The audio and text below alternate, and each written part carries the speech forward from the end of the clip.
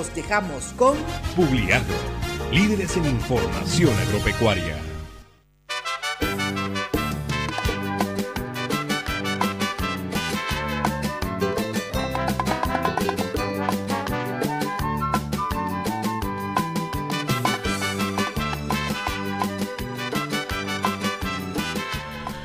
Buen día Santa Cruz, buen día Bolivia, buen día a todos los que nos están escuchando en la radio, yendo al trabajo, yendo a dejar a los muchachos al colegio, mucha gente de nuestro rubro yendo al campo que está justamente yendo a producir más y más comida para nuestro país. Buen día Karina. Buen día Enrique, buen día a todos amigos. Eh, saludarlos en este martes, segundo, es decir, tercer día del mes de marzo. Y bueno, espero tengamos todos una excelente jornada. Bueno, antes de, ir a los temas, eh, quiero felicitar, no sé si en el Facebook estamos, estamos listos, si no, no importa. Silvia Sulzer, nuestra amiga de Semillas Mónica, que está cumpliendo muchos años. Dice que a las mujeres no se les pregunta los años, así que feliz cumpleaños, Silvia. Sí, de mi parte también feliz cumpleaños. Eh, nosotros la conocemos hace mucho tiempo en la empresa de Semillas Mónica, entonces esperamos que pase un buen día eh, este martes. También a nuestro amigo David Hurtado, Davico, como le decimos los amigos, que él está eh, echándole mucho pecho a lo que es lo que es la cultura homeopática, ¿no? La cultura orgánica. Entonces está tratando de incluir eso en grandes eh, extensiones bovinas, en grandes extensiones este, lecheras específicamente, donde está dando muy buenos resultados. También muchas felicidades a, vos, Davico. espero que la pasé muy bien en este día allá en tu natal Montero. Bueno, Enrique, te comento que hoy día este, no es un día cualquiera, hoy es el Día Mundial de la Vida Silvestre. Entonces, em, dice que este día 3 de marzo se celebra el Día Mundial de la Vida Silvestre, una fecha que fue proclamada en el 2013 por la Asamblea General de las Naciones Unidas. Esto fue en conmemoración a que en el 1973 eh, la Convención sobre el Comercio Internacional de Especies Amenazadas de Fauna y Flora Silvestre eh, es decir, aprobaron ¿no? en una convención esto y eh, por eso es que se conoce este día también como Día Mundial de la Naturaleza. Bueno, ahora que eh, la fauna y la flora que tienen esa, esa, función de darle el equilibrio al medio ambiente, realmente tenemos que, tenemos que cuidarla. ¿no? Parte del cambio climático está en sus manos, ellos no lo saben, pero está en sus manos y nosotros tenemos que ayudarle a conservar. Bueno, Karina, invitamos a la gente a informarse a través de nuestro portal noticioso www.publiagro.com.bo para que todo lo que estamos comentando acá y muchas cosas más de, manera diaria, cada hora, cada minuto, nosotros estamos actualizando nuestra página para que usted esté muy bien informado. Pero antes de eso, hay que promocionar algo que realmente se viene con fuerza. El Día Departamental del Arroz allá en el Beni el Beni tiene los campos adecuados como para hacer este tipo de actividades. Aquí se viene, este, ¿dónde se va a realizar eso, Karina? El Día Mundial del Arroz. Día departamental. sigo con el Día Mundial. Eh, se va a realizar en el Beni. Mm, espérame, estoy buscando el, lugar. Eh, ah, se va a realizar en la agropecuaria Anato.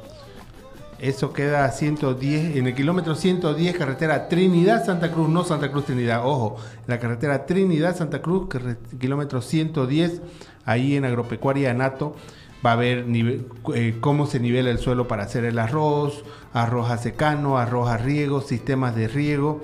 Y bueno, mientras venía aquí a la oficina vi que eh, el INIAF va a hacer un par de charlas muy interesantes acerca del manejo agronómico del arroz para que, mira lo que te voy a decir, el Beni quiere ser el principal productor de arroz del país y ajeno a eso quiere ser exportador. Ah, buenísimo.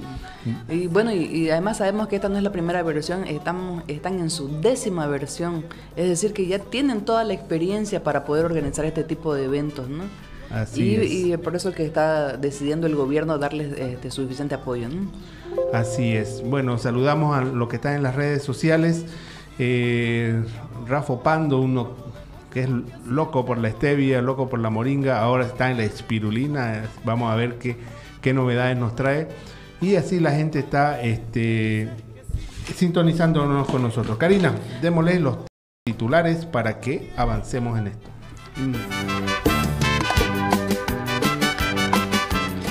EMAPA establece precios y amplía acopio de arroz para tranquilidad de los productores. Productores elaboran propuesta para el desarrollo agropecuario. Gobierno refuerza acciones de control frente a la plaga de langostas. Aprenden a dos personas imputadas de abigeato en Tarija. Productores de uva en emergencia por bajos precios. Langostas afectaron unas 350 hectáreas de cultivos en Villamontes. El 58% del área deforestada es ilegal. Ven normas permisivas. Lecheros y viceministra visitan planta procesadora de lácteos en San Andrés, en Trinidad. Bueno, Karina, eh, antes de entrar en materia, eh, quiero invitar a nuestro invitado de hoy, el señor Beethoven Torrelio, un productor piscícola. Beethoven, bienvenido. ¿Cómo le va con ese nombre artístico que tiene? Pase. Tiene el, nombre de un gran músico, ¿no es cierto? ¿Puede ponerse? Bueno, Beethoven es el secretario de COVAP, Confederación Boliviana de Acuicultura y Pesca, vocero de FEDEPES, Federación de Piscicultores de Santa Cruz. Tiene 15 años de experiencia y por lo que, por lo que me, informaron, son 15 años que una pasión adquirida de, un amigo suyo, ¿no? Eh, bueno, primeramente muchas gracias por la invitación a, este set. Gracias por alabar mi nombre. La verdad, papá me lo puso y bueno, esperemos le guste a la, a la gente. Sí, respondiendo a su pregunta, eh, sí es muy apasionante el tema de la piscicultura. Nosotros, nuestra familia incursionó hace 15 años con el tema de más que todo la tecnología en la producción de alimentos balanceados. Nosotros somos una familia que fabricamos y montamos eh, fábricas de alimentos balanceados extrusados de usos piscícolas y nos ha ido muy bien estos últimos 10 años y hemos podido aprender mucho del productor local y este, bueno, siempre estamos a la vanguardia, siempre estamos tratando de, de consolidar nuevas cosas, nuevas ideas, nuevos productos que puedan beneficiar el rubro pero ajeno de, aprender del productor local, usted se capacitó afuera justamente para capacitar nuevamente a los productores, ¿no? Bueno, al igual que cualquier profesional, ¿no? Uno siempre busca mejorar y, a veces tiene que invertir, eh, a veces uno tiene que vender su lote, su auto, su, lo que sea para tratar de salir afuera del país y y he, tenido la suerte que mi familia me ha apoyado mucho y hemos podido salir fuera del país, ¿no? A muchos países a, tratar de capacitarnos en este tema de la producción piscícola. Como le dije, siempre hay que estar un paso adelante de todo. En esta su experiencia, ustedes eh, diseñaron, dice, una planta, ¿no es cierto? Cuéntenos un poquito. Bueno, hace unos, hace unos 15, 16 años eh, me tocó trabajar con, con gente de de USAID, de Programa de Desarrollo Alternativo. Y eh, el alimento balanceado era traído de fuera del país. Entonces no había una planta aquí en Bolivia. Y tratar de traer una planta a Bolivia costaba, pero mucho dinero. Entonces un hermano mío, ingeniero, ya en mecánica industrial también, que estudió fuera del país, eh, le dije, ¿por qué no diseñas una planta de alimento para peces pequeña que se pueda montar y que esté adecuada a la capacidad humana, que cualquier persona entre 12, 15 y 20 años pueda operarla, que no tenga tantos circuitos electrónicos, ni GPS, ni nada de esas porquerías que, todavía no estamos nosotros en Bolivia capacitados. Y bueno, él tardó como dos años, la hicimos la primera planta, sacamos producto y una empresa local fue la que gustó mucho de esa primera planta, la compró y bueno, este, de ahí empezaron a venir otras y otras y otras plantas. Y al, tratar de instalar hemos descubierto de que el precio ya bajó, Entonces antes el alimento se traía del Brasil, costaba 40, 50 dólares la bolsa y ahora cuesta entre menos de 100 bolivianos. Entonces eso volvió competitivo y se amplió el universo de producción de carne de pescado. O sea, nos sentimos orgullosos de decir que nuestra empresa ha instalado más de 15 fábricas de alimentos balanceados para peces entre Santa Cruz y Villatunari. Mira vos.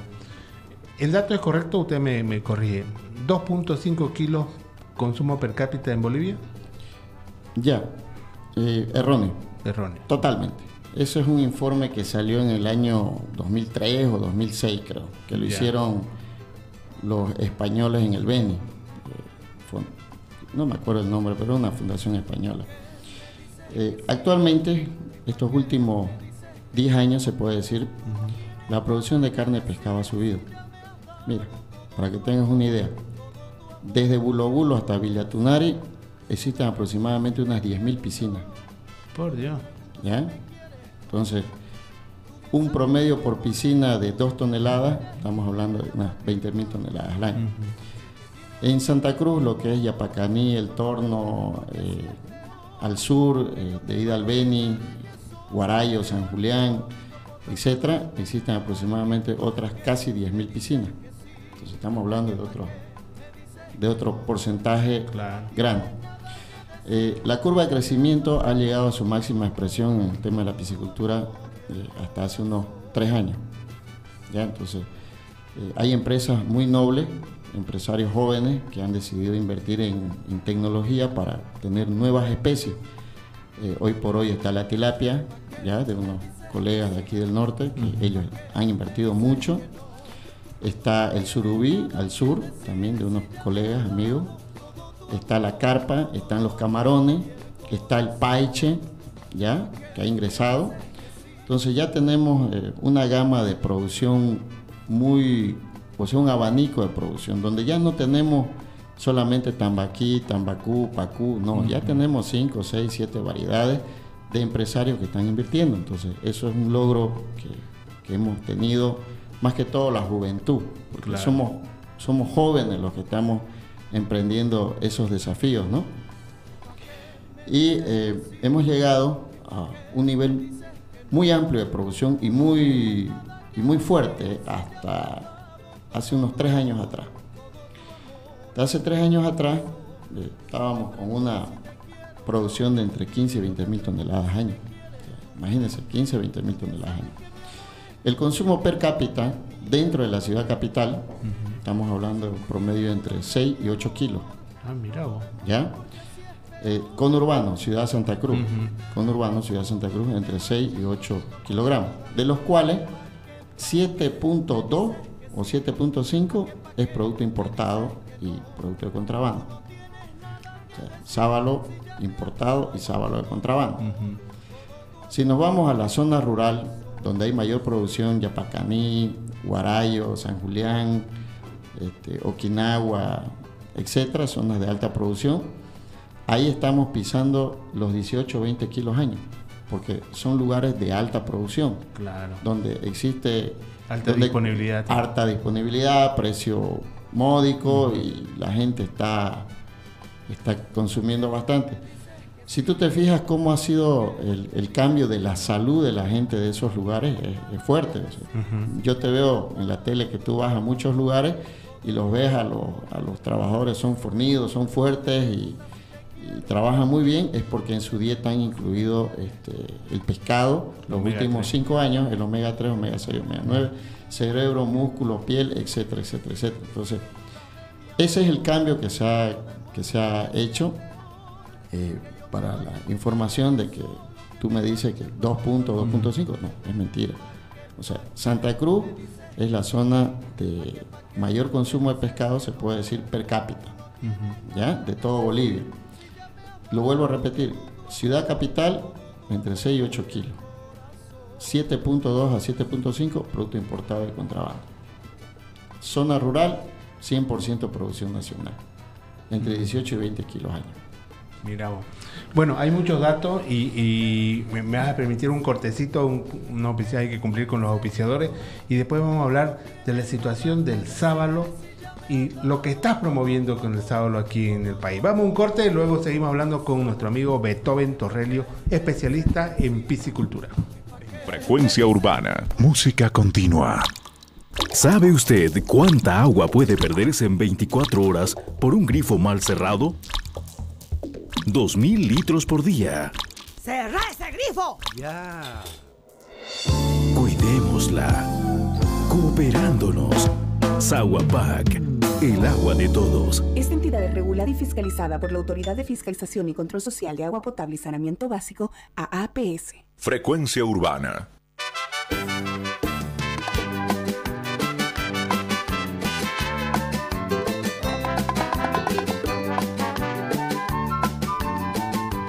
Bueno, estamos de regreso, 7 y 17 de la mañana. Seguimos aquí con nuestro entrevistado eh, Beethoven Torrelio. Y, quiero tocar un punto que eh, eh, tiene que ser el tema central de esta entrevista, que es el tema de la lucha que ustedes están haciendo contra el ingreso del sábalo argentino. Sí, efectivamente nosotros los productores locales ya nos vemos afectados con la introducción de esta especie a Bolivia, ¿no?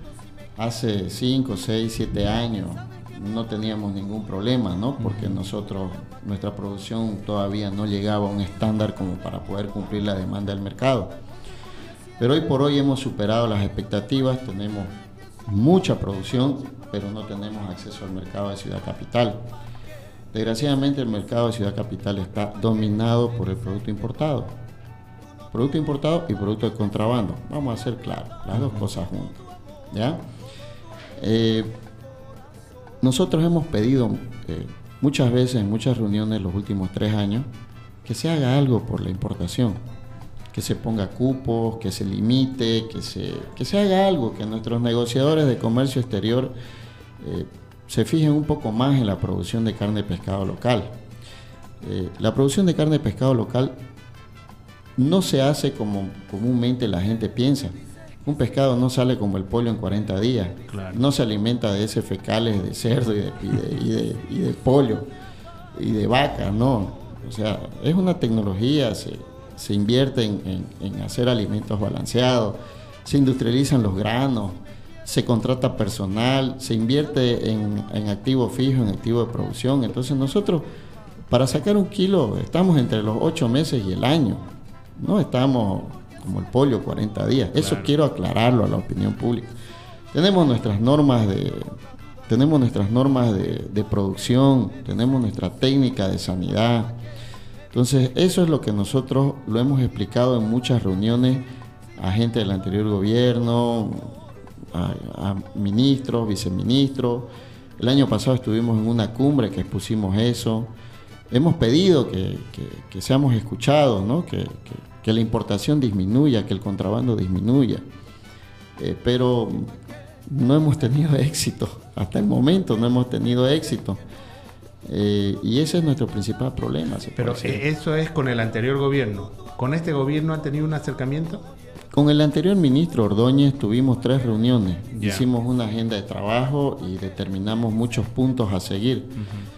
Pero hubo un cambio de gabinete que se frenó y bueno, fue hoja cero.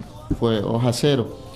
Eh, actualmente el programa IPD PACU, que es un programa muy, muy renombrado, que, que, muchas veces yo he hablado de ese programa, de que, o sea, el programa es bueno, pero la gente que lo maneja y lo administra es mala. Eh, siempre el anterior gobierno lo ha puesto a su compinche, lo ha puesto a su a un profesor de escuela, tuvo una vez de director nacional, imagínense usted. Hoy por hoy, este, con este nuevo gobierno, con esta nueva reestructuración, eh, ahorita el programa está siendo manejado por, una persona capacitada, ¿no? que viene de una familia de productores de, un par de décadas. Entonces es el señor Eduardo Zamora. Zamora. Zamora Hijo, Eduardo Zamora Hijo. Un, saludo para él si me está escuchando. Él está ahí, pero bueno, es un gobierno de transición y, y no se puede hacer mucho, ¿no? Y tampoco existen recursos económicos en el Estado para, para poder encarar nada, en palabra. Eso es, eso es cierto. Y bueno, él, necesita nuestro apoyo y nosotros los productores vamos a estar siempre para ayudarlo porque él conoce nuestra problemática y, estamos para eso.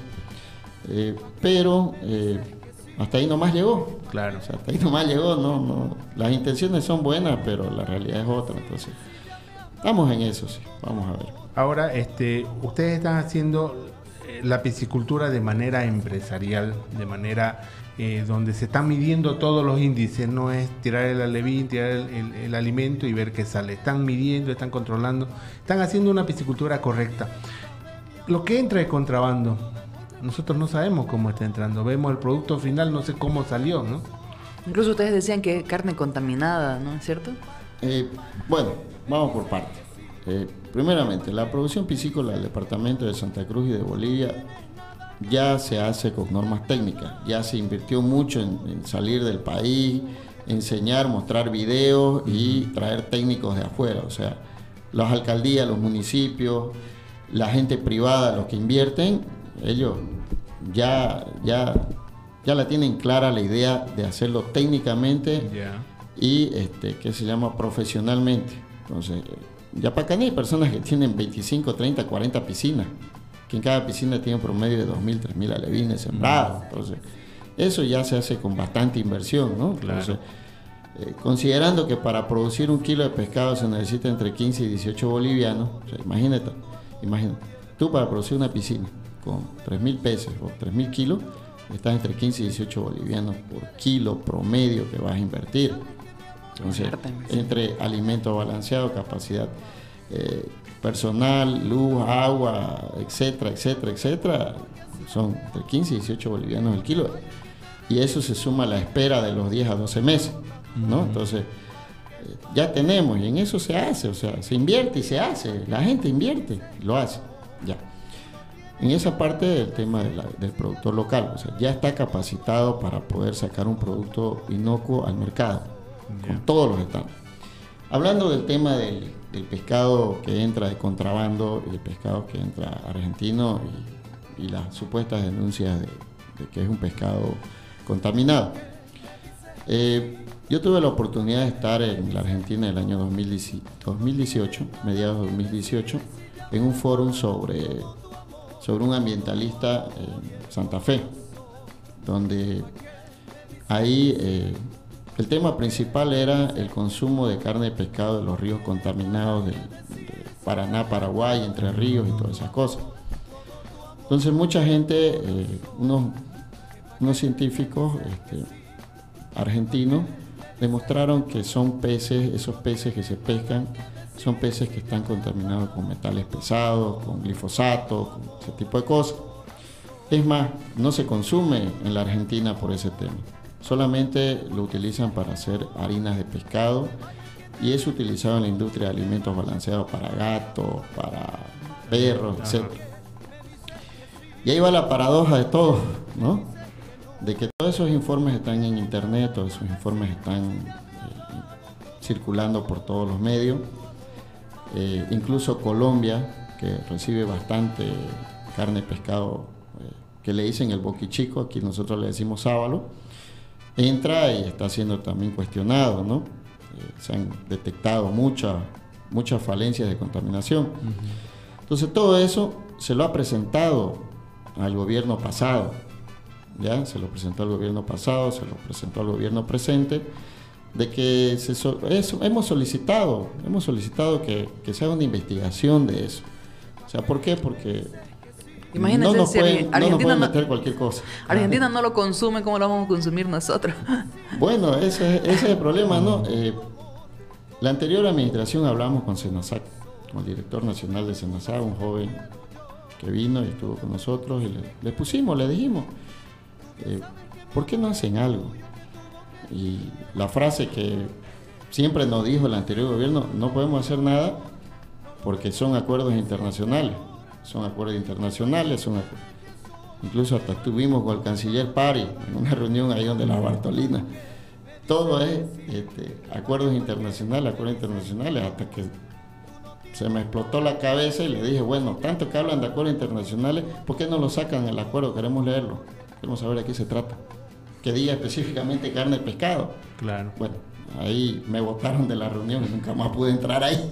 Porque soy el que más reclama. Problemático, dijeron, como, como, ha pasado con muchos, ¿no? Que reclaman y, los tachan de problemático. Problemático y ya nunca más me metieron en una reunión.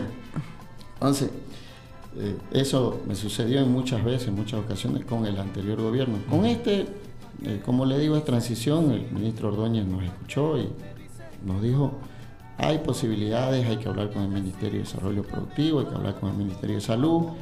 Hay que ver, hay que ver las opciones, o sea, si está contaminado no tiene que entrar, pues así de fácil, así de lógico. No hay ningún acuerdo de comercio internacional que esté por encima de, la Organización Mundial de la Salud. es fácil, no, no hay por dónde perderse, ¿no? Entonces eso, eso lo hemos pedido, eso lo hemos, lo hemos visto en este nuevo gobierno. Esperamos que nuestro director del IPD PACU que ya está al cargo de todo esto, él, él pueda gestionar más, ¿no? Como le digo, es poco tiempo, pero lo veremos. Ahora, hablando del tema del contrabando, ¿ya? Eh, miren, el año 2018, a Bolivia, a Bolivia, según informes del SENASAC, entraron 8.000 toneladas de, de, pescado argentino. O sea, 8.000 toneladas el año 2018. Si tú divides entre 25 toneladas que tiene un contenedor, un frigorífico, quiere decir de que más o menos son unos 500 y tantos contenedores. ¿Ya? Contrabando. No, no, eh, legal. o ah, sea, lo que Senasac tiene. Año 2018 se emitieron certificados sanitarios de importación para 8.000 toneladas. Ya. Y un poquito más. Si dividimos esas 8.000 entre entre 25 toneladas que tiene cada contenedor, entonces estamos hablando de casi 350, 360, que más o menos es un contenedor por día que entra a Bolivia de forma legal según los estudios de Senasac, ya, según los certificados sanitarios de Senasac. El año 2019 solo se registraron 4.000, o sea, la mitad.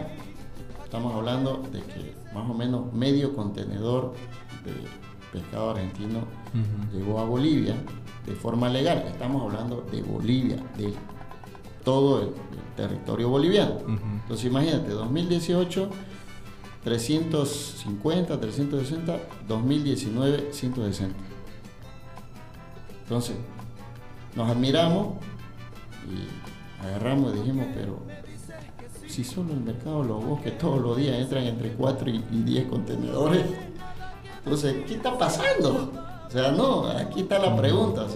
si disminuyó la, importación legal, ¿qué aumentó? Es una regla de tres siempre. Contrabando. ¿Quién es el responsable? No hay responsable. No hay una persona investigada ahorita. No hay una denuncia puesta. No hay absolutamente nada que investigue este tema. Si, si lo vemos en si lo vemos en, el internet, los mismos importadores se han quejado del contrabando.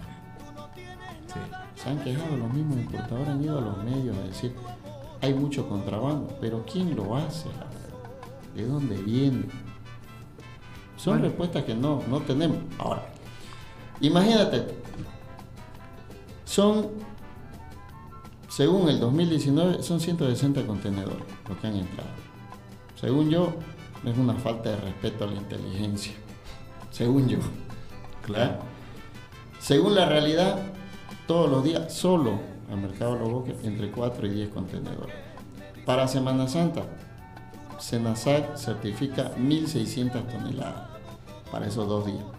Más o menos unas 30, 40 contenedores. ¿No? Entonces, ¿qué hacemos con este tema? Ahí está la autoridad competente lo hemos puesto, pero no, tenemos respuesta. Tiene mucho trabajo entonces este gobierno, ¿no es cierto?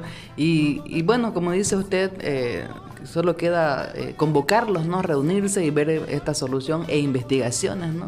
Eh, tanto el tema del, pescado que está contaminado, tanto de este contrabando. Tenemos mucho, Enrique, ya se nos ha ido el programa, 7.30 de la mañana. Mire, para, para terminar, Supongamos que son ocho contenedores que llegan por día solo al mercado cruceño. Supongamos, ocho. Supongamos 5 contenedores que llegan por día al mercado crucero. Multipliquémoslo por 365 días. ¿Cuántos son? ¿Eh? 1.500, 2.000 contenedores. 2.000 contenedores por 25 toneladas. Son 50.000 toneladas. Entonces, si esas 50.000 toneladas solamente entrara al 10% y lo demás nos lo dejara a nosotros los productores, no estuviéramos discutiendo absolutamente nada ni reclamando absolutamente nada y, y tendríamos mayor inversión. En este momento, quiero aclararlo públicamente, entre 150 y 200 piscinas abandonan por año. Entonces, estamos en una curva de decisiones en el que uno de los dos tiene que irse. O nos vamos nosotros los productores locales o se van los importadores. Eso tiene que decidirlo la autoridad competente. Quién se va, quién se queda. Si deciden que se vaya el productor local, que sigan dando permisos y que sigan, y que sigan fomentando la, la producción extranjera. La producción local se está yendo al bombo. Algo que no me preguntaron, ¿por qué el producto importado es más barato que el producto nacional? Les quiero responder. El producto importado viene de origen de la pesca. O sea, eso lo da la naturaleza. Mm. El producto local viene de una masa de trabajo continua e inversión. Entonces no podemos tener comparaciones de ese nivel. Pero, pero este no es seguro. La pesca no es segura. Ustedes siguen un, ritmo sanitario que nos dan la seguridad de que ese, de esa carne de pez es segura para el consumo humano. Sí, sí, le damos nosotros toda la garantía de que el consumidor final va a tener una carne de un día para otro, no una carne de hace un mes para ahora. bueno, eh, Beethoven eh, cerró el programa realmente, cerró el bloque, eh, o somos nosotros o son ellos, y creo que este gobierno está eh, trabajando para, para, el productor. Entonces, le agarramos la posta a ellos, vamos a pasar esa, esa, esa pregunta o esa sentencia a, las autoridades competentes para que ellos también nos respondan qué van a hacer de aquí en adelante. Karina, nos comió el tiempo, ¿no? Sí, bueno, eh, muchas gracias por, por su tiempo y lo invitamos a que nos acompañe a ir a un corte. Vamos a una pausa. Frecuencia Urbana 105.7 ¿Sabe usted cuánta agua puede perderse en 24 horas por un grifo mal cerrado? 2.000 litros por día. ¡Cerra ese grifo! Ya. Cuidémosla. Cooperándonos. Saguapac. El agua de todos. Esta entidad es regulada y fiscalizada por la Autoridad de Fiscalización y Control Social de Agua Potable y Saneamiento Básico, AAPS. Hecom, Hecom. Gecom. En Gecom Publicidad te ofrecemos de verdad un mundo entero de opciones para poder publicar. Te ayudamos a vender tus productos en la web, conectados en el mundo mediante.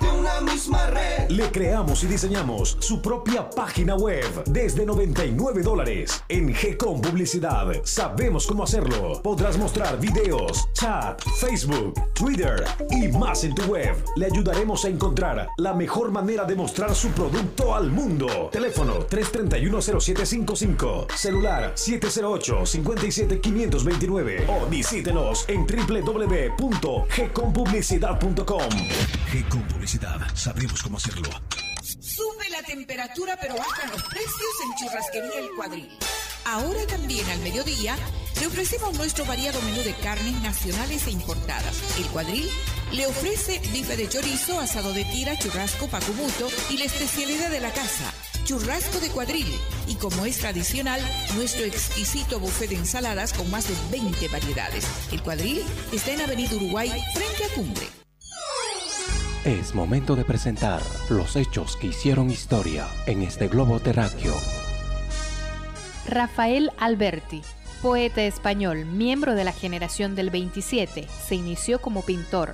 Se orientó hacia la literatura y unió a un estilo basado en la lírica popular las influencias del gongorismo y el surrealismo, Exiliado en Argentina y Roma, regresó a España en 1977. Sus principales obras son Marinero en Tierra en 1925, Calicanto en 1927, Coplas de Juan Panadero en 1949, El Adefesio y Arbolera Perdida. Arroz si te da variedad por el color del envase lo distinguirá. El rojo favorito en la amarillo, grano de oro, el verde es qué variedad. Kaizi Limitada, con más de 50 años llevando a las mesas de los hogares bolivianos arroz de primera calidad, cumpliendo las normas sanitarias exigidas en el país. Recomienda a los consumidores verificar que en el envase se encuentre impreso el registro SENASAG. Kaizi, especialistas en arroz. 105.7 Frecuencia urbana.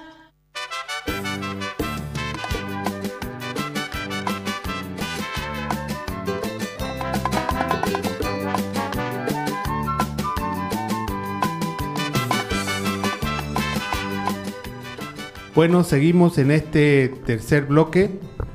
Estamos, eh, acabamos de tener una, una entrevista bastante eh, esclarecedora, te, te, pone en el contexto de lo que es la realidad piscícola nacional y realmente te, da escalofrío saber los números que están, lo que están sufriendo de ello. Eh, solo hablar de 300 pozas que se cierran de manera anual porque no hay condiciones para producir y peor para comercializar es realmente dato. Y nuestra, y nuestra frase, ¿no? Eh, ¿Somos nosotros o son, son ellos, ¿no? Los importadores. Prácticamente le dicen al gobierno, bueno, o están con nosotros o cerramos nuestras pozas y nos dedicamos a otra cosa y ustedes verán qué hacen con los peces de aquí para adelante. bueno, que hay mucho de que hablar de este tema, pero te, te, cuento que estamos en línea con el señor Raúl Eggers, presidente de Serma Beni. Buen día, señor Raúl. Muy buenos días, Karina. Buen día, Enrique. Eh, un saludo para ustedes. Gracias por el seguimiento y el apoyo al sector que están haciendo ustedes y estamos a órdenes para responder a sus preguntas. Bueno, eh, eh, en anterior entrevista que tuvimos con usted, estuvimos hablando de la planta procesadora de lácteos y usted decía algunas observaciones al tema administrativo. Y bueno, este, este tema eh, tenemos entendido que ha llegado a, oídos del gobierno y se cumplió lo que, lo que usted pedía, que era que el gobierno este, preste atención a esta planta. Y tenemos entendido que han tenido la visita de la viceministra. Cuéntenos, por favor, el detalle de esta visita. Sí, tuvimos la visita de la viceministra, la ingeniera Ivana Melgar. Hicimos visitas a los centros de acopio que en realidad más que centro de acopio lo llamamos tanques de enfriamiento porque son pequeños espacios, pequeñas salas, que eso es lo que queríamos, no porque las autoridades conozcan la realidad de cómo funciona eh, la planta ¿no? de acá de San Andrés. Eh, la planta, eh, llegamos centro de acopio Trinidad, Casarabe y a la planta misma, ¿no? La viceministra pudo verificar las deficiencias que existen en los centros de acopio, eh, vio la magnitud de la planta, una planta eh, muy hermosa, en buenas condiciones, eh, con capacidad para producir mucho más de lo que de lo que nosotros sacamos, producimos de leche, ¿no? Entonces, se llenó ella de, de, le agradó mucho el tema de ver, se, hasta se emocionó, podría decir yo, porque ella es una ganadera más también ¿no? de la zona, entonces eh, demostró mucho interés para poder ayudar en todo lo que es el andamiaje de la planta, ¿no? Entonces, este, nosotros estamos contentos porque ya es un logro, creemos que eso eh, nos van a apoyar las autoridades, ¿no? Ella eh, verdaderamente tuvo que ver, visitamos, como le digo, se vieron las deficiencias y bueno, yo le manifesté, ¿no? la preocupación que hay ella nos quedamos de acuerdo en que le íbamos a mandar nosotros el planteamiento con todo lo que habíamos visto, ¿no? Bueno, y este el tema, el tema lo tocamos acá y usted nos mencionó en esa ocasión, eh, hizo una observación al tema del transporte. Incluso usted mencionó que el, camión que utilizaban era un cacharrito. Eh, esto también se tocó con la ministra porque es muy importante, ¿no? El tema de ver la logística para el transporte de la leche. Sí, efectivamente, sacamos fotos, yo a ustedes precisamente le envié una foto, vemos que hemos, eh, llevamos nosotros acá el medio de, de y de comunicación, les vamos a hacer el requerimiento mostrándoles la deficiencia para que ella pueda coordinar, vamos a enviar una carta al ministro de Arroyo Productivo, al ministro Rojo, no es posible que él también nos pueda visitar porque la verdad es que eh, todo está centralizado, no acá en, eh, acá en la planta San Andrés eh, nada se puede hacer si no es todo dependiendo lo que es la ciudad de La Paz, ¿no? Entonces ella no que estuvo muy, estuvo muy de acuerdo para que nosotros enviemos la carta al ministro y con copia a, ella para que ella pueda gestionar y se puedan ir cubriendo no todas estas deficiencias que existen dentro de la planta, ¿no? Eh, usted nos envió una fotografía incluso eh, de cómo se transporta la, leche y la verdad fue muy preocupante, ¿no? Porque eh, se supone que en este en esta producción se tiene que seguir una cadena de frío, ¿no es cierto? Sí, es lo que yo le manifestaba, ¿no? En la mayor en la entrevista anterior, ¿no? Entonces, este, esa en la cadena de producción existen exigencias que hay para nosotros, entonces también hay exigencia en el tema de la manipulación, ¿no? De lo que es la, leche misma, ¿no? Entonces el almacenamiento, ¿no? Y esa cadena de frío, ¿no? El transporte es una cadena que viene y tiene que cubrir pues con todos los requisitos, ¿no? Y eso deja mucho que desear, como yo les manifestaba, nosotros podemos, cumplimos hasta llegar a los centros de acopio, pero de los centros de acopio hacia la planta, todo ese manipuleo que se hace, entonces con la leche hace que existe riesgo de que esa leche ya no llegue en buenas condiciones a la planta, ¿no? Entonces por eso que nosotros es que hemos pedido que podamos contar con los camiones cisterna, no solamente con uno, sino con dos, ¿no? Con los camiones para que puedan, que sean camiones que tengan las condiciones suficientes, porque nosotros, esta planta no solamente para, para Trinidad, sino que para otras provincias también, ¿no? Estamos hablando de San Ignacio, que estamos aquí a aproximadamente 90 kilómetros, que hay grandes expectativas. Los amigos gimnasianos, ellos han propuesto hacer su centro de acopio ahí y que para poder traer la leche que se pueda ya con el tanque, con el camión cisterna, se pueda recolectar la leche y proveer a la planta de San Andrés, porque la planta de San Andrés tiene la capacidad para producir mayor cantidad, ¿no? Pero como le digo, hay muchos problemitas, tanto en el tema administrativo, temas técnicos, entonces que eso tiene que ir acomodándose. Y para ello, nosotros como productores tenemos que acompañar, porque si nosotros como productores no acompañamos, esto se va a caer, ¿no? Y yo creo que tiene el interés del, del mismo gobierno. Nosotros creemos que el gobierno nos va a ayudar, que nos va a apoyar, porque eh, tenemos, como le digo, expectativa de que nos van a ayudar, que nos van a apoyar, porque esta planta no se puede caer. Ya hemos hablado de monto, de cuánto cuesta la planta, no solamente de los montos, de cuánto generamos de empleo los productores de leche. Un productor de leche mínimo tiene que tener cinco personas los productores, estamos hablando de medianitos, no que acá no hay grandes productores, en realidad como le, como hablábamos, el Beni recién está arrancando en lo que es el tema lechero, no propiamente con la planta San Andrés, ya las expectativas son mayores, ¿no? Entonces, ¿cuántas familias nos, a cuántas familias damos empleo? ¿Cuántas familias se alimentan de lo que nosotros generamos trabajo, ¿no?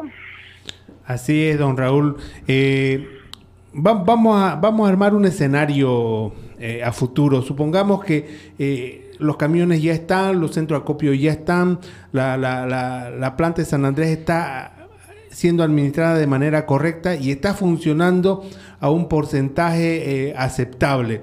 Ahí ya viene el trabajo de ustedes, los lecheros, de dar más cantidad de leche, más calidad de leche, eh, que ¿Qué proyecciones tienen ahí? ¿Dónde van a mirar para un poco homologar? Santa Cruz, Brasil, eh, va, tiene que haber muchas plantas de, alimento balanceado, eh, van a hacerlo a pasto. ¿Cuál es la, proyección ya de la producción interna de la leche?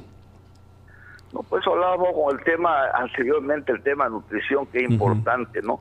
Acá nosotros, ustedes están hablando, he visto su programa, el tema de arroz, ¿no? El tema del arroz vienen, lo, eh, ustedes saben ya, eh, ya lo, lo, lo, derivado, ¿no? El arroz, como se el arroz, el afrecho, etcétera, etcétera, ya viene el afrecho, vienen los granillos, eh, además el eh, con el famoso nuevo plus que se ojalá que se dé, ya también la gente se va a sembrar sus alimentos. Entonces, ya habiendo seguridad en el tema del, del, de la, del, del acopio de leche, la sucesión de leche, la gente invierte más dinero, ¿no? Habiendo seguridad de que le seleccione su leche, de que le van a pagar, entonces puntual la gente invierte más, no hay mayor inversión. Inclusive el que se dedica a la ganadería, esto lo hace como una actividad complementaria, porque no se olvide que el ganadero tiene ganado blanco y también ordeña, entonces el mismo mm. trabajador puede hacer las dos cosas al mismo tiempo, ¿no?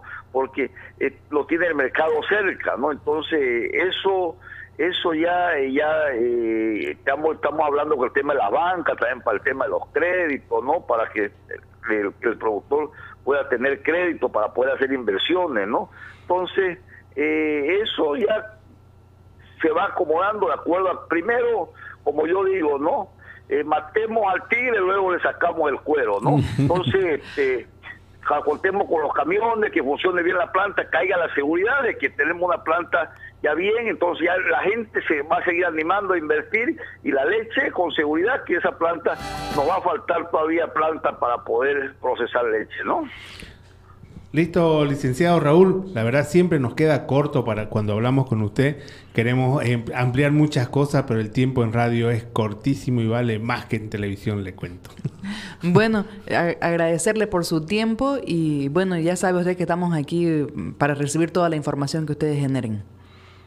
No, lo agradecidos somos nosotros acá los lecheros por contar con el apoyo de ustedes. Esperamos tenerlo en cualquier momento que nos puedan visitar para poder siempre coordinar, ver eh, las deficiencias que les estoy nombrando para que ustedes puedan verlo objetivamente y puedan apoyarnos, ¿no? Porque la verdad es que para nosotros, hay como le digo, es la única industria que tenemos acá y hay expectativas grandes, pero lo que se necesita, como en todo, ¿no? Seguridad, ¿no?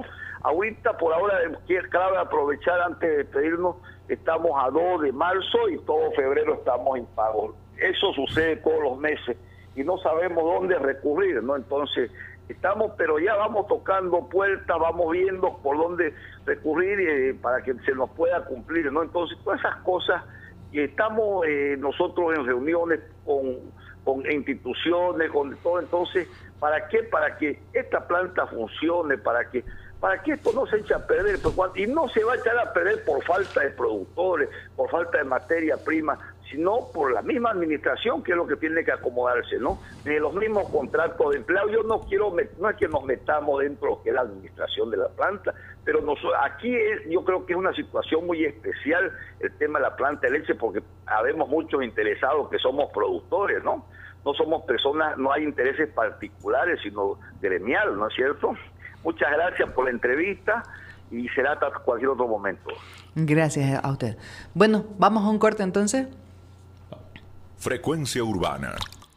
¿Sabe usted cuánta agua puede perderse en 24 horas por un grifo mal cerrado? 2.000 litros por día. ¡Cerra ese grifo! Ya. Cuidémosla. Cooperándonos. Saguapac el agua de todos. Esta entidad es regulada y fiscalizada por la Autoridad de Fiscalización y Control Social de Agua Potable y Saneamiento Básico, AAPS. Ley número 264. Ley del Sistema de Seguridad Ciudadana. La presente ley tiene por objeto garantizar la seguridad ciudadana, promoviendo la paz y la tranquilidad social en el ámbito público y privado para una vida segura. Ley número 264. Ley del Sistema de Seguridad Ciudadana. Es un mensaje de Frecuencia Urbana. Frecuencia Urbana. Única en su género.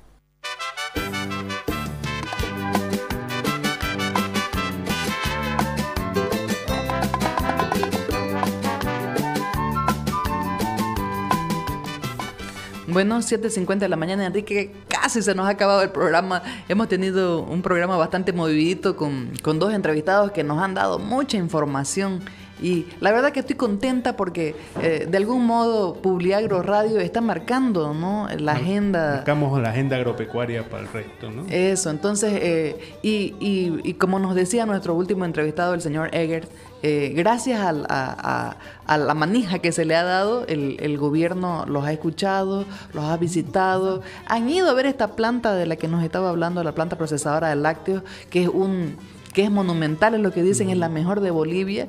Y bueno, ya el gobierno estaba tomando atención para, para solucionar estos temas que él dice, ¿no? La parte administrativa, la parte logística. No, para despedirse, como le faltaba poquito tiempo, nos dijo, estamos impagos, o sea, pucha, hay mucho que resolver ahí en este tema, ¿no? Pero no lo dijo ya con una queja.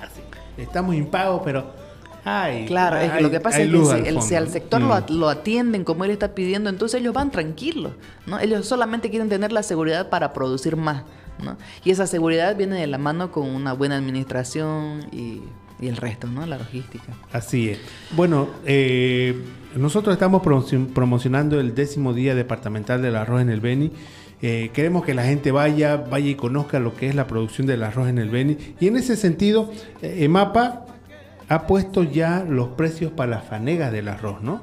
Karina. Sí, eh, dice que eh, ha, establecido un precio y amplía el acopio de arroz, y esto obviamente para la tranquilidad de los productores. Eh, y, y este precio lo ha establecido de acuerdo a la calidad del arroz. Así es. O sea, va, ya no va a tener un precio único, no va a tener un precio plano, va a tener un precio de acuerdo a la calidad. Obviamente se hacen los análisis al momento de acopiarlo se hace el análisis y dice, este es arroz tipo A, tipo B, tipo C, no sé cómo, a ver, Karina. Permíteme que lea un cuadrito. Claro que sí. Eh, dice que los precios actuales establecen cuatro calidades, eh, ¿no? El arroz, eh, tenemos el arroz que tiene rendimiento mínimo de 39%, estaría en 50 dólares la fanega. El arroz bueno de rendimiento de 40 a 42% estaría en 55 dólares la fanega. El de muy buen rendimiento entre 43 y 44% sería de 65 dólares la fanega. Y por último, el arroz premium, que le llaman, eh, de más de 42% sería de 75 dólares la fanega. Estamos hablando de que va al precio normal del mercado, 10 dólares más arriba. Eso, va a pagar el mapa. O sea, si, si el precio de, de, de, de la, de la categoría de 50 dólares que va a pagar el mapa se supone que en el mercado normal está a 40 dólares. Esto para incentivar. No nos olvidemos dos cosas, Karina. Eh, nosotros somos autosustentables en todos los productos, menos en trigo, que estamos bajísimos, 30% solamente, y en arroz, que estamos a 85%. Necesitamos nivelar por lo menos la demanda interna para luego pensar en exportar, que es lo que vamos a hablar en, eh, en el décimo día departamental del arroz del Beni, que no tienen que faltar. Karina. Otra cosa que no tiene que faltar, Enrique, es nuestra agrofrase del día. Bueno, Y esta, y esta frase va eh, de acuerdo al tema de semillas de contrabando. Ayer eh, estuvo aquí presente la directora nacional de semillas, eh, Paola Román, y bueno, estuvimos hablando a fondo de, de, este trabajo, de cómo se está realizando, y en esta entrevista salió esta frase. El agricultor, al agricultor le falta información agronómica respecto a la semilla de origen dudoso. Muchos dicen que les ha ido bien, pero se olvidan que al multiplicar esa variedad van perdiendo el valor genético y por ende los rendimientos cada vez son más bajos. Esto va en relación a la semilla de contrabando o semilla ilegal que ingresó eh, básicamente de soya y que está en el mercado local. Como, como, como ella dice, muchos dicen 4 toneladas, cuatro y medio y aquí el promedio es 1, 5, 2 bien, sí, ¿no? Pero cuando empiecen a multiplicar va a haber degeneración genética, entonces hay que conservar la genética de esa semilla la intacta eh, en este, en este caso. Y este hay que darle al César lo que es el César, ¿no? Esa, esa semilla fue investigada y desarrollada por Bayer y Bayer no está recibiendo un peso por lo que se está sembrando acá. Entonces, y tampoco Bayer va a ser responsable de que la degeneración genética que haya más adelante. A eso iba la frase del del día de hoy de la licenciada Paola Román. Bueno, ingeniera te cuento, porque ella es técnica. Perdón. bueno, eh, otro tema, Enrique, que me gustaría tocar eh, antes de que nos vamos, está el tema del control de las langostas. Pero si querés, hagamos primero el apunte agropecuario, ¿te parece? vamos, vamos a ver los apuntes agropecuarios. Bueno, este, el apunte agropecuario va básicamente en lo siguiente. La raza cebuina más distribuida a nivel mundial es la raza Brahman. Eh, cosa que no pasa en Brasil y Bolivia, los dos únicos países donde el Nelor predomina eh, desde el punto de vista de raza cebuina. Pero la raza cebuina que está en el mundo, que fue desarrollada por Estados Unidos, este, entre un cruce eh, de animales angus, que animales post-taurus europeos, con dándole un tinte con el, con el cebuino. Entonces ahí se, agarró una raza cebuina tropicalizada que ellos la expandieron por todo el mundo, como hacen los gringos, y está eh, eh, en todo el mundo. Entonces es una raza cebuina que al estar en todo el mundo tuvo sus diferentes cruces. Por ejemplo, Santa antes, de que, antes de que siga, eh, al que recién se conectó, ¿de qué raza estamos hablando? La raza Brahman, la raza cebuina Brahman. La raza cebuina Brahman que se, que se cruza 3 octavos Brahman y 5 octavos Shorton, tenemos Santa Gertrudis. Brangus, tenemos 3 octavos Brahman, 5 octavos Angus. Brangus es una raza muy carnicera que es la paraguaya y la argentina. La Greyman, 3 octavos Brahman, 5 octavos Murray Grey. Y te cuento que está la Bradford también, es 3 octavos Brahman y 5 octavos Hereford. Que las tiene mucho al sur de, en Porto Alegre, en, Brasil, ¿no? Tenemos la Beefmaster, 50% Brahman, 25 Hereford y 25 Shorton. Y la Simbra, 3 octavos Brahman, 5 octavos Cimental. Y la Charbray, que es 3 octavos Brahman y 5 octavos Charolais. Si ustedes se fijan, tenemos eh, la, la carne del mundo casi está circundando en la raza Brahman. Por eso es la raza cebuina más que tiene mayor impacto cárnico a nivel mundial. Obviamente quitando la raza netas Tauros que son las Angus y las Hereford que son las reinas en carne a nivel mundial. Bueno, Karina. Te decía que quería tocar antes de que nos vamos el tema de, de, las plagas, de la plaga de la langosta. Y eh, bueno, el gobierno ha ha reforzado acciones de control contra esta plaga y han implementado este, dos centros de operaciones para controlar la plaga. Los centros de operaciones están en Santa Cruz y eh, eh, tendrían unas bases de operaciones, se puede decir, en, otros sectores como Boyuibe y Charagua. Asimismo, en Villamonte, en, Tarija, están, eh, tienen otro centro de operaciones y en Macharetí Chuquisaca es el segundo, ¿no? Eso, hasta el momento se han fumigado cerca de 3.000 hectáreas, dicen. Eh, no querían llegar a eso, ¿no? La, fumigación, ¿qué te trae la fumigación? Sí, te controla la, langosta mayor. No te controla todavía ni, los huevos ni, ni, lo que estás inclusionando. Entonces, y al fumigar se mata la fauna, los insectos benéficos que controlan los maíces. es un paso que no se quería dar, pero para controlarlo había informes de que el 70% de los cultivos de Villamonte estaban ya perdidos y eso es una sola cosecha al año, entonces estamos realmente mal. Bien por el Senasac porque eh, hay que tomar medidas y si las medidas son extremas hay que dar el paso. A veces alguien no quiere dar ese paso por represalias, pero bueno, hay que darlo el paso y, bien, nosotros aplaudimos esas medidas. Bueno, Enrique, estamos ya al final del programa. Eh, los invitamos nuevamente a la, Feria Departamental del Arroz en el Beni. y bueno, no se olviden de, asistir a este gran evento. Este viernes 6 de marzo nosotros vamos a estar ahí presentes para traerle de primera mano todo lo que ha pasado allá. ¿Qué más podemos decirle? Saludos productivos. Y que Dios siga bendiciendo como siempre a nuestra amada tierra Bolivia. Hasta luego. Esto fue Publiagro Radio con Enrique Anzuategui y Karina Vázquez. Fue una hora de información del sector agroproductivo boliviano, solo por frecuencia urbana 105.7 y nuestras redes sociales. Publiagro líderes en información agropecuaria.